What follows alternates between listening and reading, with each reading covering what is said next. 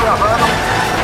E agora estamos no Look Star e preparamos uma mega produção para vocês.